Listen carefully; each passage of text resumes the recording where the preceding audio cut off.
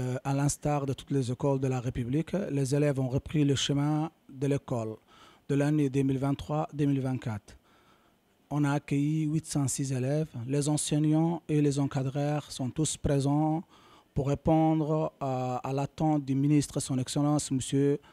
Mustafa Mohamed Mahmoud.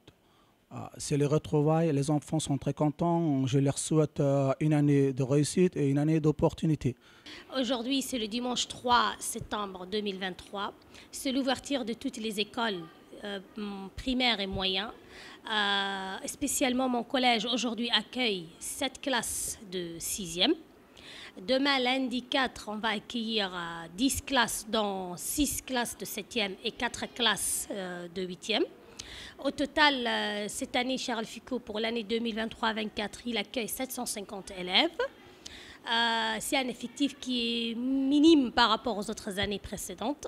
Cette année, dommage, on n'a pas aussi les classes de 9e qui ont été transférées au CM de stade. Et euh, voilà, alhamdulillah, la journée se passe à, très bon terme, merveilleusement.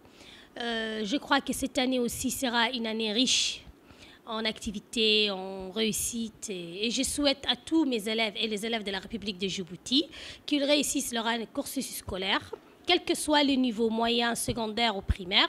Euh, je remercie bien sûr mon institution qui est le ministère de l'Éducation nationale. Je leur passe mes meilleurs voeux, mes meilleures salutations pour l'année, pour cette rentrée 2023-2024.